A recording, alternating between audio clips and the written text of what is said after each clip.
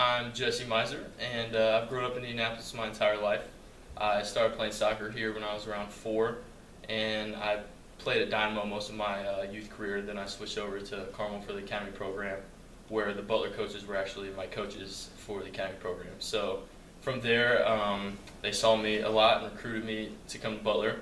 And coming into my freshman year, they decided to take a position over at North Carolina State. So that's when Snape came in, and he he was nice enough to to keep me in here. wasn't wasn't too mean about it, so I got to stay, get some playing time under Snape, and uh, that's where I am now. Uh, future, I am currently applying to med school. Uh, it's made me kind of loopy going through all the applications and all that stuff. So I'm just waiting to hear back now. Just waiting on, on the word from every school. Um, I have to go with Crystal Palace. Favorite thing about Butler? Um, I love the community that we have here. Just how everyone that goes to Butler, um, even when they graduate, is part of the community, and I, I love that aspect. My favorite animal? I have to go with a cougar. Easily trip.